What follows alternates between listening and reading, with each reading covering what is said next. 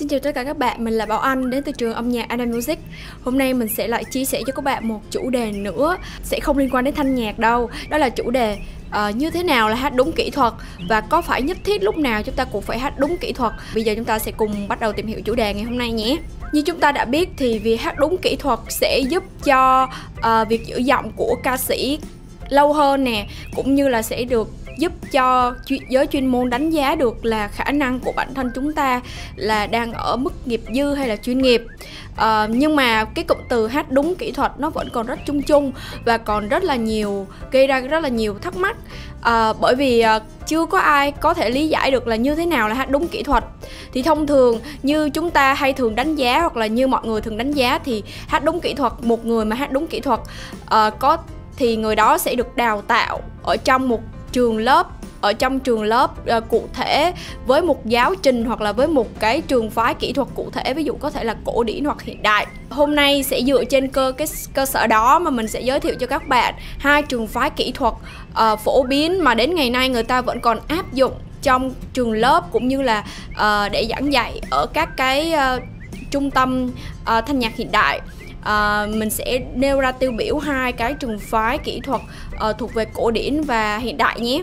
Trường phái thứ nhất là trường phái cổ điển. Nhắc đến trường phái cổ điển thì mọi người chắc hẳn sẽ nhắc tới ví dụ giống như là uh, hát ở trong các nhà hát opera hoặc là hát ở những cái nơi như là uh, thính phòng. Thì uh, uh, cái việc mà cái trường phái cổ điển hát thì đã xuất hiện từ rất là lâu rồi. Nhưng mà đến ngày nay uh, phải kể đến một trường phái kỹ thuật cổ điển mà đến ngày nay người ta vẫn còn áp dụng đó là trường phái bel canto Trường phái Bel Canto là một trong rất nhiều trường phái cổ điển áp dụng vào thế kỷ thứ 17 trở nên phổ biến vào thế kỷ thứ 19. Có thể kể đến là bên cạnh cái trường phái Bel Canto sẽ kể đến trường phái uh, hát lãng mạn của Đức ừ, hay người ta còn gọi là trường phái Richard được nhà soạn nhạc người Đức tên là Richard Wagner uh, ờ, sáng tạo nên thì uh, Richard Wagner là một nhà sáng uh, là một nhà soạn nhạc người Đức. Ông uh, sáng tác rất là nhiều ông soạn giả ra rất là nhiều ca khúc cổ điển. Những ca khúc uh, theo trường phái lãng mạn của Đức sẽ được Richard Wagner viết theo một uh, cái cái hơi thở thời đại lúc bấy giờ. Đó là mang tính chiến đấu mang tính chiến tranh. Bởi vì thời đại bấy giờ là người ta vẫn còn um, chiến đấu để giành lãnh thổ đó các bạn. Cho nên là Richard Wagner viết nên những bài hát soạn nhạc mang hơi hướng của sự mạnh mẽ hào hùng. Chính vì vậy mà các ca sĩ khi hát những ca khúc uh, theo cái lối viết của ông cũng phải theo một kỹ thuật nhất định. Quay trở lại với chủ đề ngày hôm nay thì trường phái Bel Canto và trường phái uh, Richard hay còn gọi là trường phái lãng mạn của Đức thì đã gọi là trường phái cổ điển thì chắc chắn là chúng sẽ có chung một nền kỹ thuật để áp dụng. Nhưng mà tại sao đến ngày nay uh, trường phái kỹ thuật Bel Canto lại vẫn được ưa chuộng? Bởi vì có thể theo dần dần theo tính thời đại. Bel, trường phái Bel Canto uh, ờ, nếu mà dịch ra tiếng Việt có nghĩa là lối hát đẹp thì nó sẽ phù hợp hơn với âm nhạc hiện nay để dùng để thư giãn hoặc là dùng để uh, uh, thư giãn hoặc là dùng để nghe uh, một cách thoải mái chứ không còn dùng để uh, phục vụ cho việc chiến đấu hay thợ phùng một đấng tới cao nào cả. Đúng như cái tên của nó thì bel canto có nghĩa là lối hát đẹp à, và các ca sĩ khi áp dụng các kỹ thuật này thì phải hát chuẩn từ kỹ thuật nền. Kỹ thuật nền đó là những kỹ thuật về hơi thở vị trí âm thanh. Đến kỹ thuật hoa mỹ. Kỹ thuật hoa mỹ có nghĩa là những kỹ thuật luyến láy hoặc là run rip hoặc là những kỹ thuật mà để làm cho cái giọng mình trở nên màu sắc hơn. Thì phải hát thật chuẩn những kỹ thuật này. Đồng thời là đặc biệt ở trong lối hát bel canto sẽ không sẽ ít khi mang cái lối hát mạnh mẽ mà sẽ thường là truyền đạt theo một cách tình cảm cũng như là sẽ có một cách để nối uh, nối cái cái câu chuyện lại với nhau nối các câu hát thành câu chuyện lại với nhau. Rất là đặc biệt. Vì tính phức tạp của kỹ thuật bel canto mà có rất nhiều nhà soạn nhạc phải dành hầu như là có thể là phải dành cả nửa cuộc đời để có thể tìm hiểu về các cái loại kỹ thuật trong cái trường phái kỹ thuật bel canto này. À, phải kể đến trong thanh nhạc đại chúng có hai ca sĩ diva dựa vào nhé các bạn dựa vào trường phái bel canto chứ không phải là đi theo lối hát này.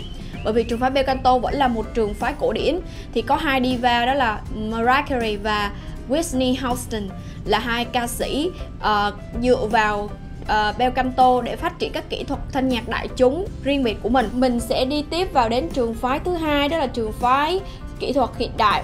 Trong kỹ trong trường phái kỹ thuật hiện đại thì sẽ có một kỹ thuật uh, một lối kỹ thuật thanh nhạc rất là phổ biến mà hầu như là tất cả hầu như à, không phải tất cả mà là đa số các trường lớp hiện nay hoặc các trung tâm thanh nhạc hiện nay áp dụng để đào tạo. Đó là trường phái kỹ thuật Speak Level Singing.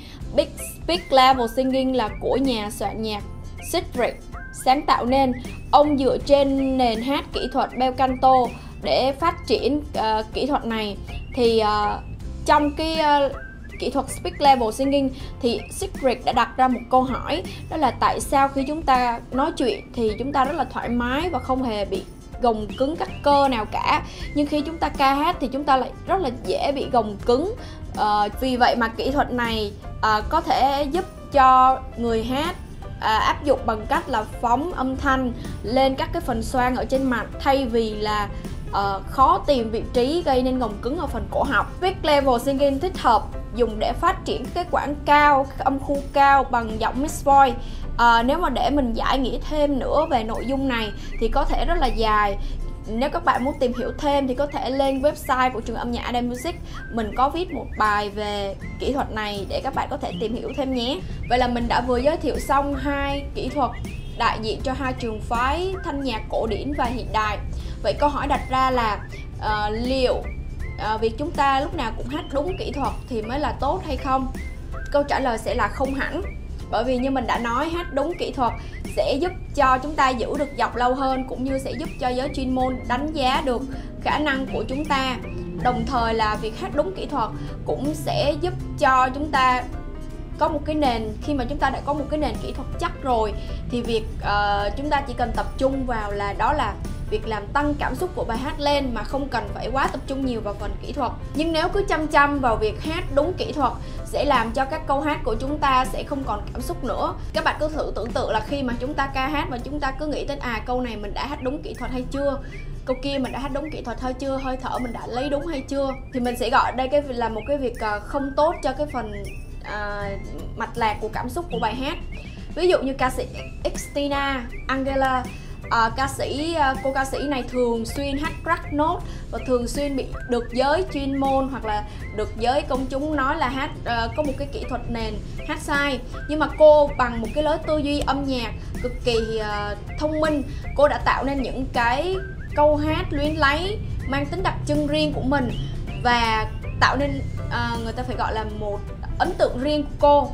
Và bạn cũng vậy nếu như bạn tạo ra những cái âm thanh nào mới lạ uh, khi mà luyện tập thanh nhạc mà vẫn đảm bảo được việc các cơ thanh quản thoải mái cũng như là không bị gồng cứng thì hãy vẫn tiếp tục phát triển nhé và đừng bao giờ sợ sai video clip đến đây là kết thúc À, hy vọng rằng đây sẽ là một kiến thức bổ ích cho các bạn À, nếu các bạn yêu thích có thể bấm theo dõi kênh âm nhạc của trường âm nhạc Ada Music nhấn chuông để có thể cập nhật các video clip mới nhất. Mình là Bảo Anh đến từ trường âm nhạc Ada Music.